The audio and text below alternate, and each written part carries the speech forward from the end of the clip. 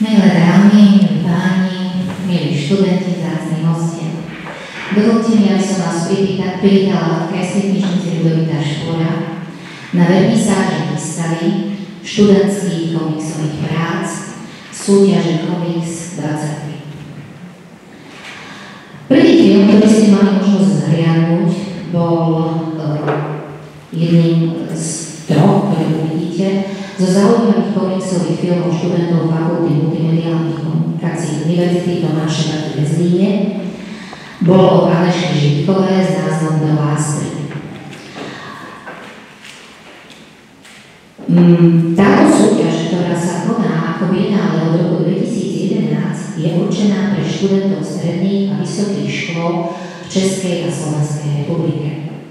Koncom septembra 2023 boli vybrané víťazné práce, ktoré môžete vidieť v našich výstavných priestoroch na poschodí a mnohí ste ich už možno aj zahliadli. Študenti mali napísať a nakresliť zaujímavý komiksový príbeh na ľubovoľnú tému v rozsahu jednej až troch strán.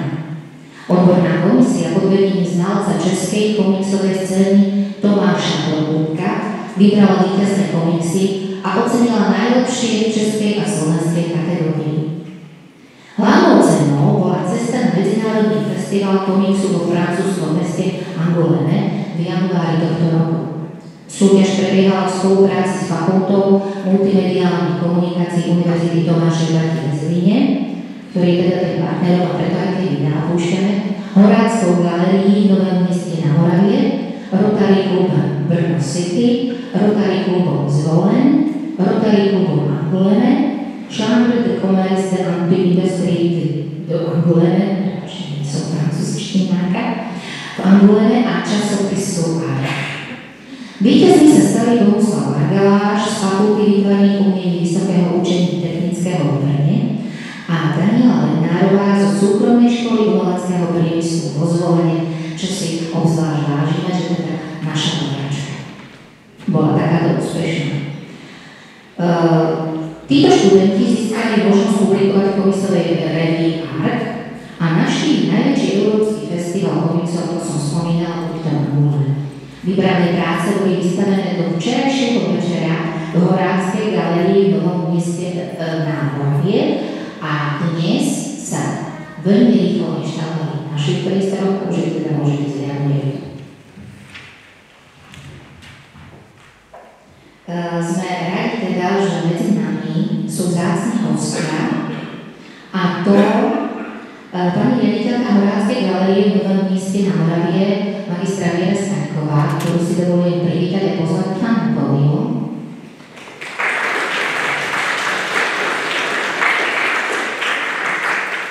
Potom kurátorka výstavy magistra Petra Gregorová z Horáckej galerie, ktorú máme tu, poďte k nám, nech sa páči.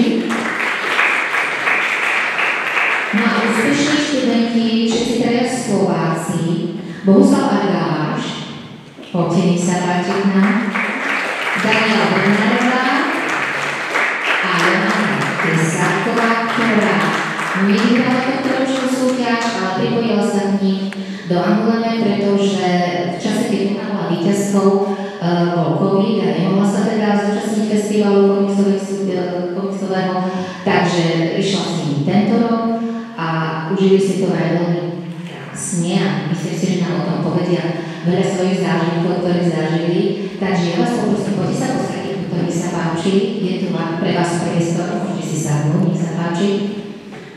A kým vám odovzdám ešte slovo, tak nech máte svoje miestečka.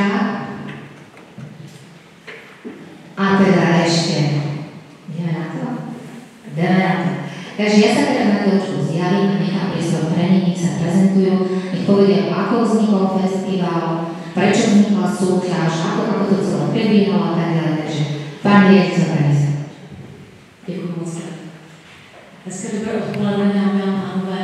Děkuji moc Lence a paní ředitelce, která děkuji moc na tu s námi nemůže být za to, že máme tu příležitost vystavovat v tomto krásném prostředí knihovny. Já si myslím, že ten komiksům knihovna moc sluší a jsem moc ráda, že je vás tady tolik komiksových fanoušků.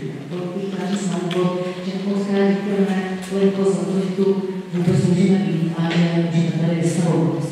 To, co říkala paní Lenka, je pravda, my jsme do neděle do 17 hodin měli výstavu to nejlepší z CS z 23 vystavenou v Horácké galerii Nové městě na Moravě, což je odtud asi 5 hodin cesty. Dneska ráno v 6 hodin jsme tu výstavu sundali, naložili do auta, přijeli jsme ve 12 hodin, dali jsme se na poslední dobrý oběd a za dvě hodiny jsme tady nainstalovali to nejlepší, jeden z ročníků 23, takže tady vidíte vítězné práce, první, druhé, třetí místo, cenu, eh, která eh, dostala zvláštní cenu, českou a slovenskou kategorii. A protože jsme si říkali, že vlastně v ročníku 2021 jsme měli krásného namalovaného čtenáře a krásné příběhy.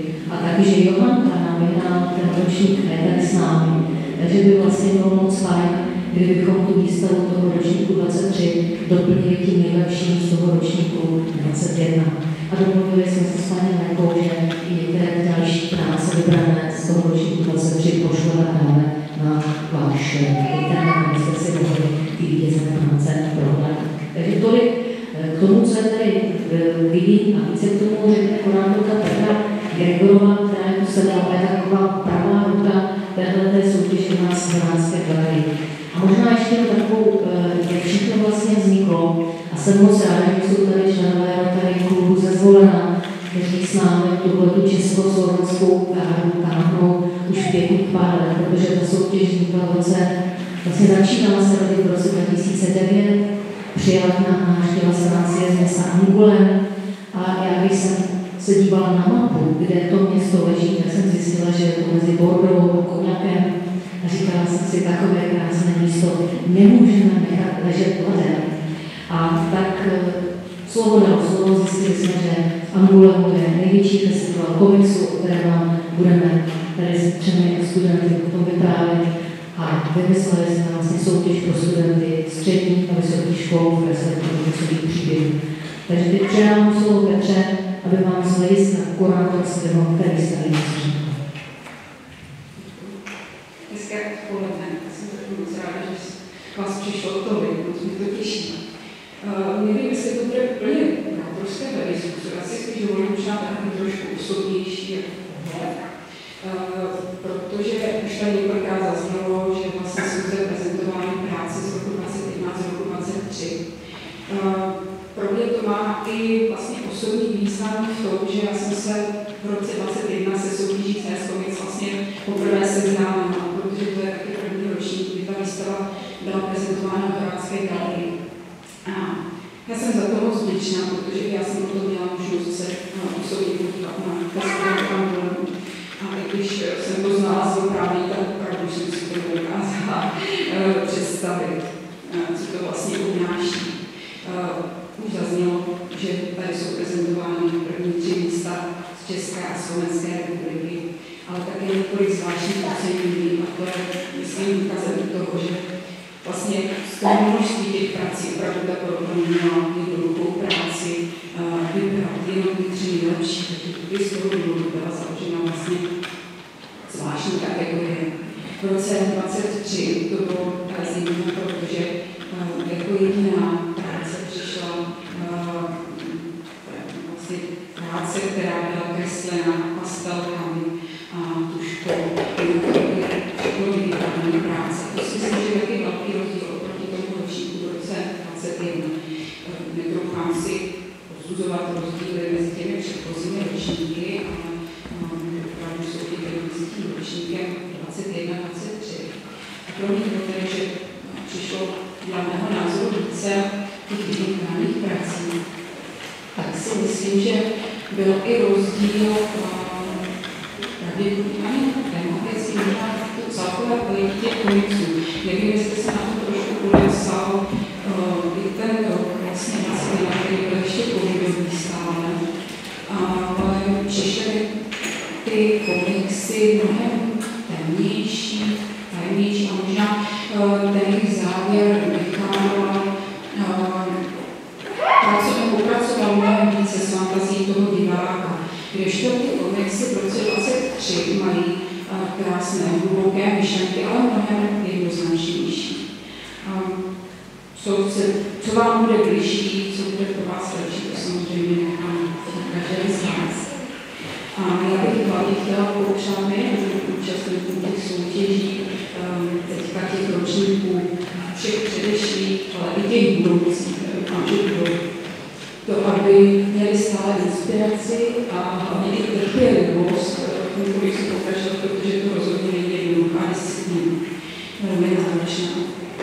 A přeji spoustu úspěchů a dalších vlastně tvůrčích sil. Děkuji. Petře. Já bych možná ještě viděla jeden rozdíl, nevím, jestli se podíváte na ty práce, tak dáte za pravdu. Mně osobně připadá, že ty české práce jsou temnější než ty slovenské, že ve slovenských je více barev. Nebo aspoň takhle, jak si pamatuju, ty ročníky. I když, jak říkala Petra, možná ten poslední začíná být trošku vyrovnaný. A možná je to také tím, kdybych měla osvětlit, jak my vlastně máme českou a slovenskou sekci. Tak když jsme tu soutěž tvořili, tak jsme velmi zvažovali, jak to rozdělit. Jestli Slováci budou opravdu Slováci, kteří studují už na českých nebo slovenských školách, nebo jestli to rozdělíme podle toho, zda studenti studují Česku nebo na Slovensku, nebo může to být i cizinec, který studuje v Česku nebo na Slovensku. Takže pokud je to Slovák studující v České republice, v Brně nebo ve Zlíně, tak spadá v české kategorie. Pokud je to třeba Polák, který studuje v Bratislavě, tak může soutěžit dokonce v té slovenské kategorii. Takže jsme to takhle otevřeli. Ale pravda je, že na celou tu dobu vlastně jsme měli pouze jednu takovou zahraniční studentku, a byla tehdy z Běloruska, s tou byl Bohoušek v tom prvním ročníku, že to máme vítěze, který vyhrál historicky dokonce dvakrát. A tak se nám vlastně letos stalo, že jsme jeli do Angulemu, eh, jeli tři Slováci, tři studenti, takže eh, mezi tím, když Johanka vyhrála ten minulý ročník, tak ještě byla studentkou střední školy. A do Angulemu už jela jako studentka, která je v prvním ročníku na animaci eh, na fakultě multimediálních komunikací ve Zlíně. Bohužel se nám posunul, ten, když vítězili poprvé, když mu bylo, odjel do Angulemu, když mu bylo 15 a vrátil se, když mu bylo 16. A mezi tím se stal studentem e, fakulty výtvarných umění v Brně, takže teď takže soutěžil v té české kategorii a jediná Daniela Bernárová, která vlastně eh, studuje tady, eh, tady ve Zvolenu, ale pochází z Žiliny. A takže tady na tu slovenskou té kategorii, tak jak prostě studentka ze Slovenska na slovenské škole. Tak je to trošku možná komplikovanější, ale myslíme si, že vlastně ta konkurence je v pořádku a že to takhle vychází velmi. A možná ještě, než předám slovo studentům, tak řeknu pár slov o městě Angula jako komiksové nese, protože eh, nevím, jestli někdo z nás předtím vůbec o Angulemu slyšel jako o městě, které pořádá komiksový festival, ale věřte, že ta tradice je veliká, protože ten letošní ročník byl už 51. A když přijedete do toho města, tak najednou že tím komiksem žije celé město, nejenom, že je tam muzeum celoročně otevřené komiksu, které se zabývá historií a současností, ale když procházíte tím městem, že je tam spousta pomalovaní domů, ty občas tady vidíte za námi na fotografiích, ať už Johanky nebo mý, které tady budeme promítat v průběhu toho odpoledne. A všechny ty názvy ulic jsou napsány v komiksových bublinách. Takže i tím prostě to město žije a v době festivalu to město, které má asi 640 tisíc obyvatel, se najednou promění ve město komiksových fanoušků, kterých je asi 200 tisíc. A vy tam potkáváte na každém kroku a v tom městě je třeba 20 nebo 30 míst, kde se můžete potkat s nějakou komiksovou výstavou, s nějakým komiksovým projektem a že je to tam prostě komiksem od rána do noci. Přijdete do katedrály, tam je skoro 40 letá tradice katolického komiksu. Nebo přijdete někam do restaurace na toaletu, to jsou takové lehké prostě obrázky. To tam prostě tím komiksem 24 hodin denně.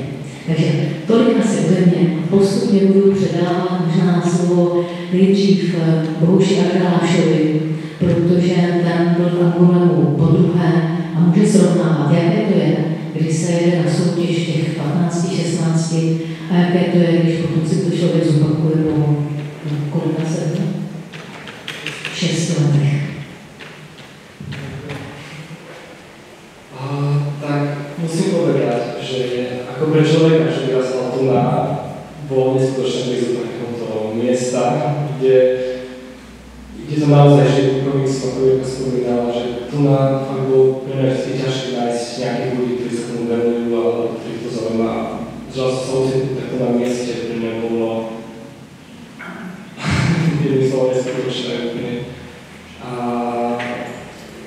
hoci som už mladá očakávania, keďže som tam bol druhý krát teraz, tak to, aj takto stalo som sa nemal to proste pripraviť, že to všetko bude pre mňa, lebo ja rozprávam o tom, ako som, ako som tam strašne málo spal a že som vôbec nebol unavený, lebo som mal pocit, že už snívam.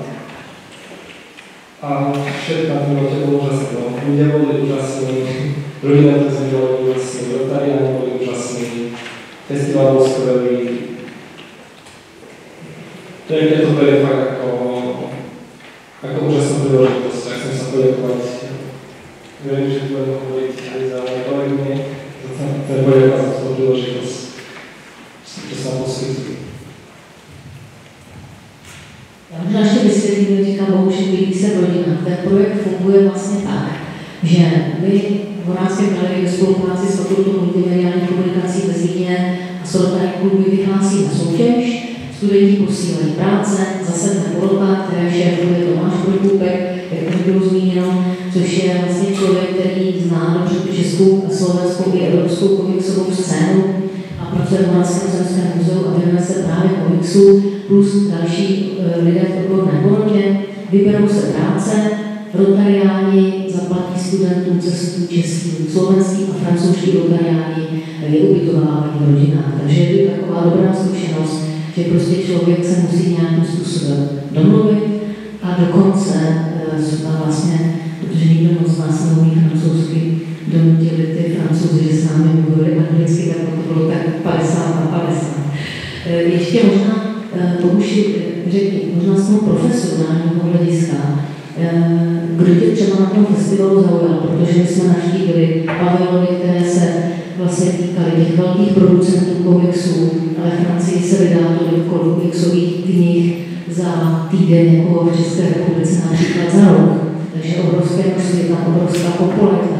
E, co třeba z toho tvého profesního hlediska bylo zajímavé pro ten, pro ten tvůj obor pro ten další profesní rozvoj i důležité? Zajímavých věcí tam bylo pro mě skutečně hodně veľa ale jedným z najviac zaujímavých momentov pre mňa bol asi Pavlo nezávislý umelcov, kde vážne boli ľudia, ktorí predali svoje práce, ktorí neboli kde publikovaní predtým nejako. A tiež som možno stretnúť, vidieť umelcov, ktorí sledujú už dlhšiu dobu. Tak to bolo tiež úplne ako zo sna. Vidieť, ako to funguje, ako sa tým dá živiť, to sa motivovalo a jak si to zarobiť naozaj. Ľudia tam stoja na nájomní aj rodinné stretli s svojimi obľúbenými autormi, tým tam potom môžu niečo nakresliť do kníh, čo som donesú od nich a Chcete niečo povedať?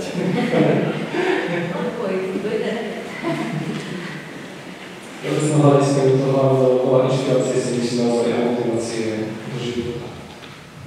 Možná ještě jednu věc, předám mikrofon dál. Eh, ty máš tady vlastně komiks Cesta ke štěstí, když se podíváte taky vlastně ten, ten první komiks z vašeho pohledového nahoře, tak trošku možná řeknu něco k té troj třístránkové kresbě. Uh, můj komiks uh, je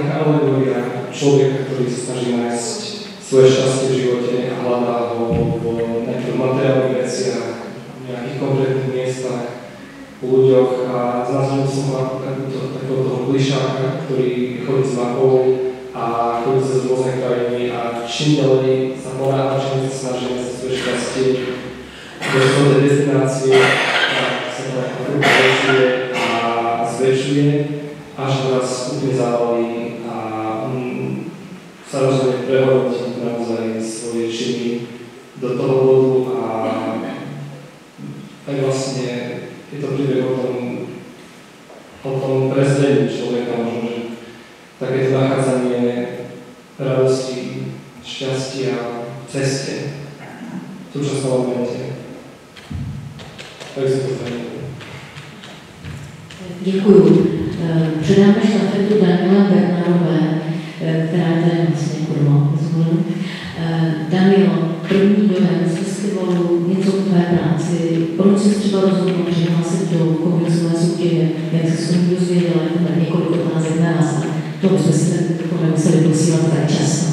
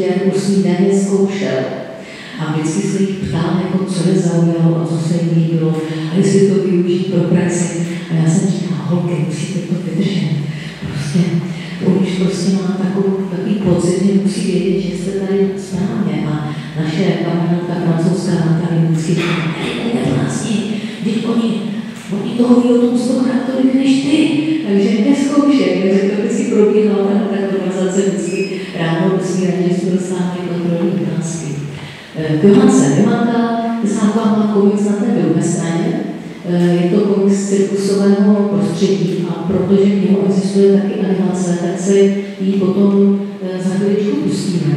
Eh, nicméně Eh, řekli něco k tomu tvému komiksu, můžeš něco říct e, i k tomu, e, jak se dostala vlastně k animaci a e, co to pro tebe vlastně tyhle ty dva světy znamenají, jak se odlišují, jestli se doplňují a jestli ten festival v tomhle tom jako hodně pomohl, ať už jednoho nebo druhého, druhému školku nebo animaci.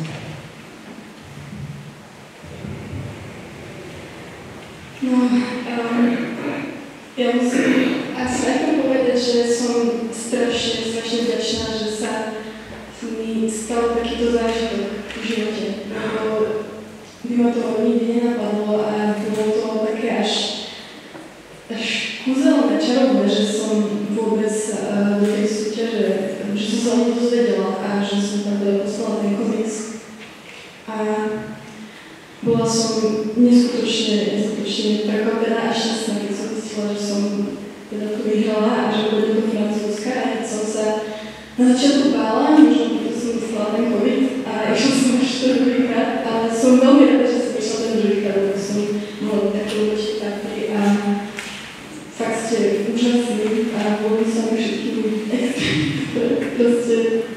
wow.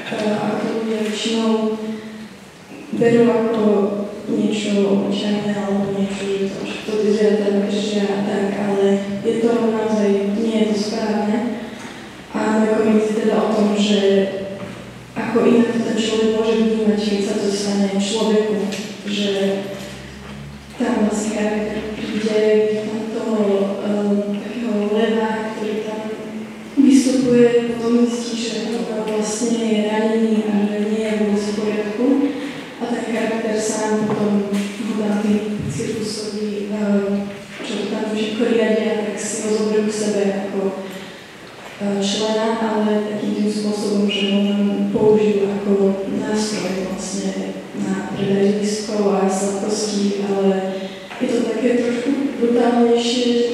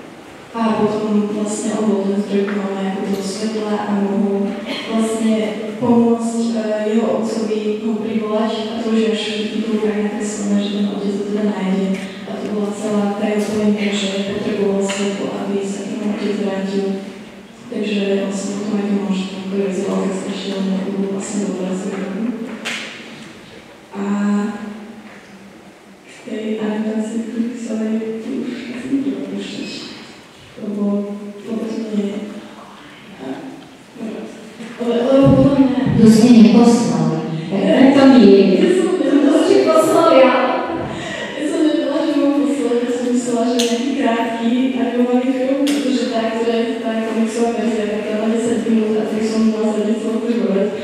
Także to sobie tak dalej jest na YouTube, tak z tym się że dajmy o sobie razem. Jakaś inna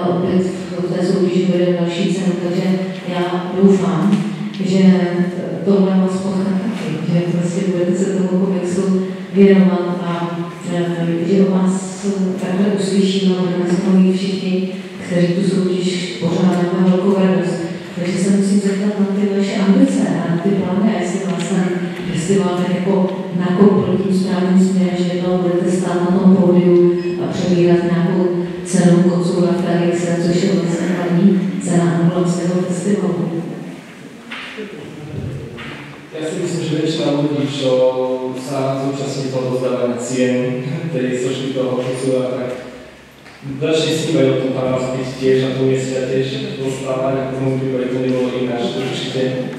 A mám tu cen od 15 alebo sa mi nezmenil, rozhodne som budem pokračovať, ale to je čo ma na život 8 rokov. A ako ma nepustila stále, takže momentálne sa studujem na bakalárku a pracy na rodzinie jakiej koniecznej dłuższej tak. Mam pracę.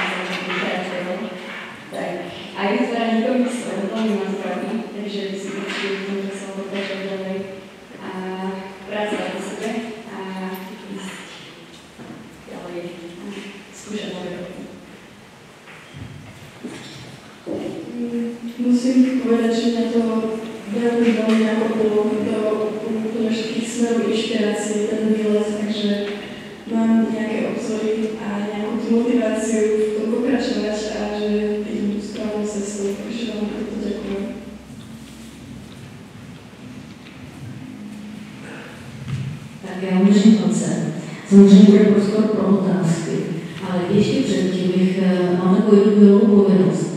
Eh, ten festival v Angule byl vlastně zajímavý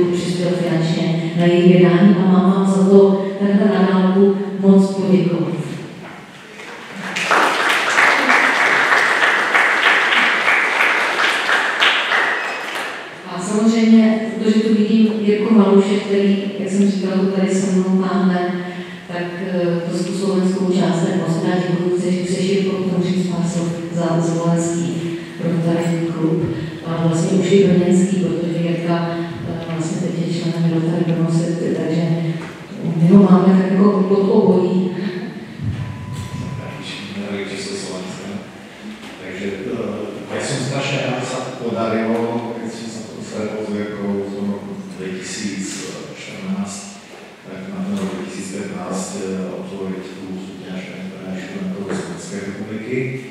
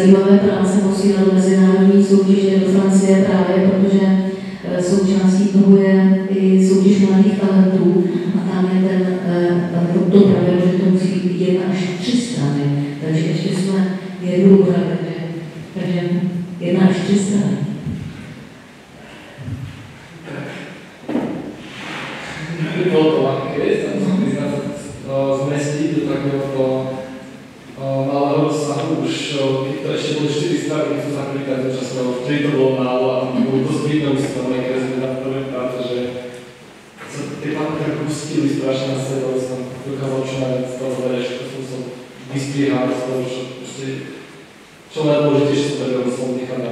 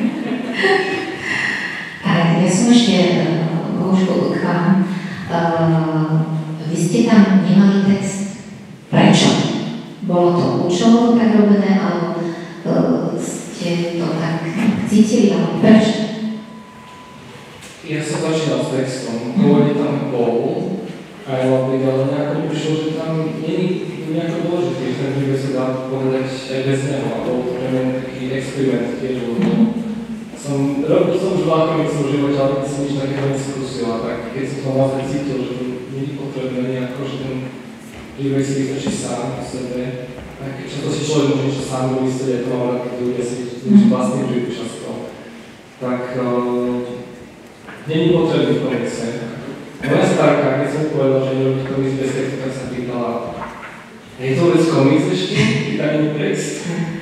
Že chýbají ty Ano, ano, bez bublin, je komiks, bez bublin komiks stále, tak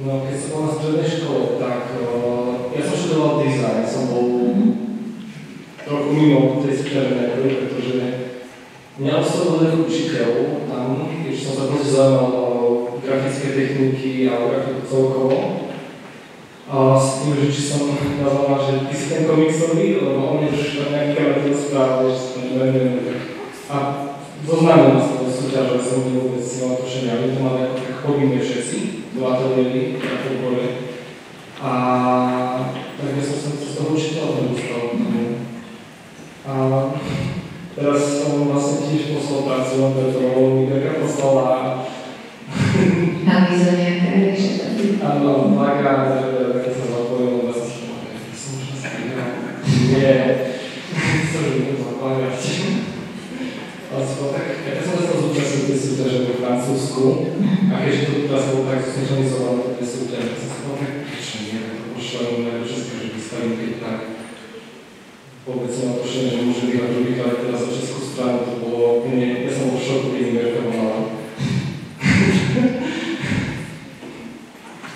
Chcete sa ale do komiksu, nic sme vám, alebo že to je Rất dễ.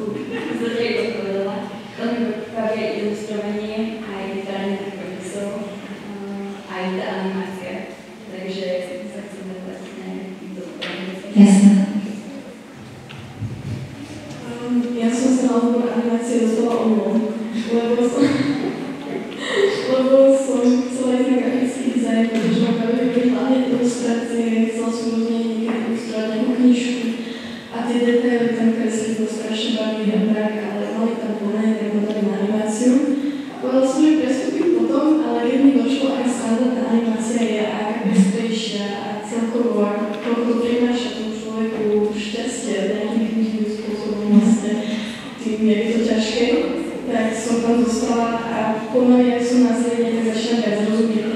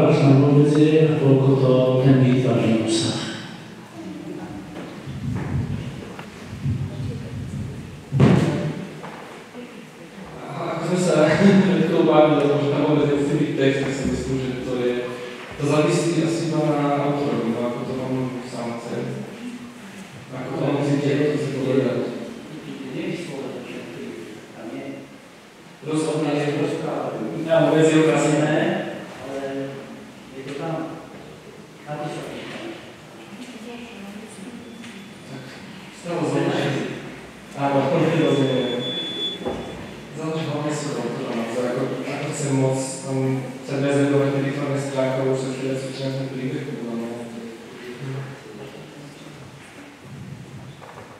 Ak mám rozprávať z osobnej, teda z osob- osobný názor, tak uh, keď som boli teda v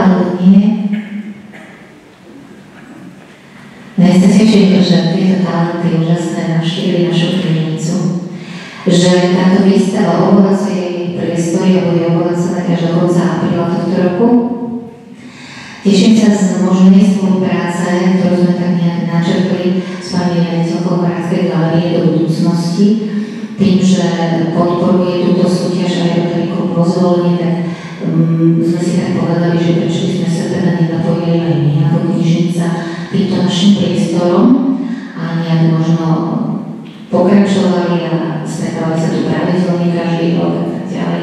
Uvidíme, čo sa podarí.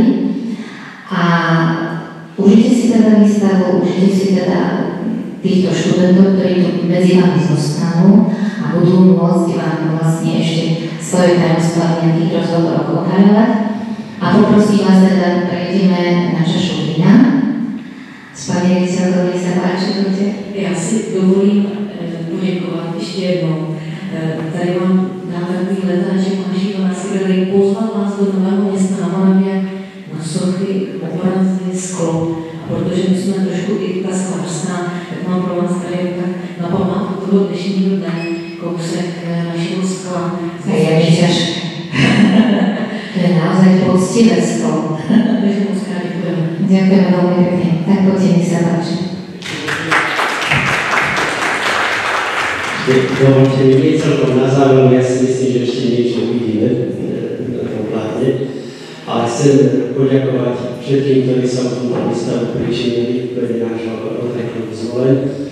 A môžem vás aj v budúcnosti znak prislúbiť, že budeme sa tento súťaž venovať aj naďalej a hľadať na Slovensku talenty také, ako sú títo traja zlatí mladí ľudia. Ďakujem za toto národné Ďakujeme veľmi pekne.